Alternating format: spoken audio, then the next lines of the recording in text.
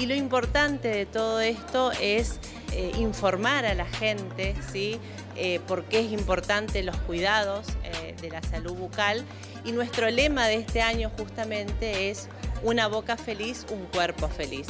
Entonces es importante que la gente se empiece a concientizar de que tener una boca en buen estado es también cuidar nuestra salud. Tendemos a la mamá embarazada y también a los bebés. Hay bebés que nacen con dientes, hay bebés que nacen con su frenillo corto. Lo importante que es la lactancia ¿sí? a la hora del crecimiento de un niño.